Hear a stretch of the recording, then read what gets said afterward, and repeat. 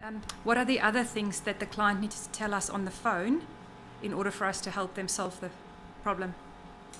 Uh, so, at the beginning, so the serial number for both, I mean the, the handle and the, uh, and the machine.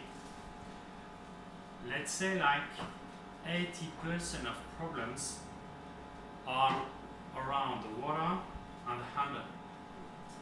Okay?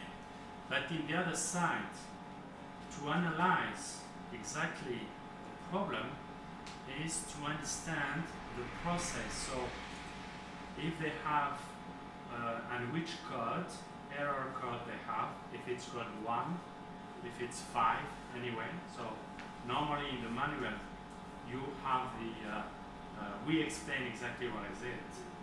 So the code is uh, necessary and the other side we need in the same time the, I mean the, the steps, each step. So I opened and the machine doesn't work or the machine, the screen is off or I have a beep, continuous beep.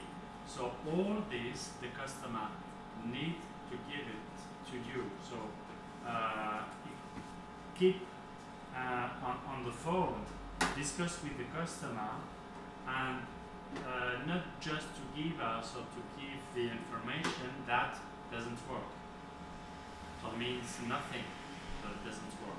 So, also, um, sometimes the error might occur 30 seconds after startup, or it might occur just as they try and fire a shot. So, it's really important to know when the error occurs.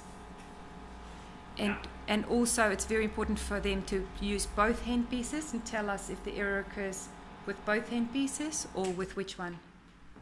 It's what I would like to show that how and when I will change the, uh, the handpiece.